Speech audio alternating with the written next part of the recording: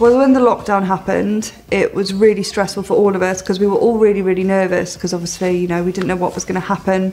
And all of a sudden, we were in this situation where we had to be online.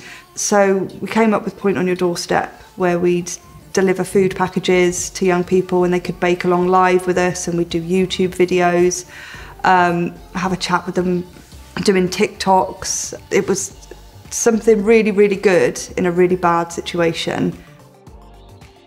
Point offered us the doorstep visits, live cooking, uh, the walking challenge. Uh, the walking got us out the house and keeping us fit. The cooking was helping our bakery skills. It just took my mind off everything else, like everything that was happening in the world.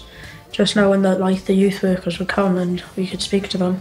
Like uh, me and Reese always come to point, so it was just nice to see them again.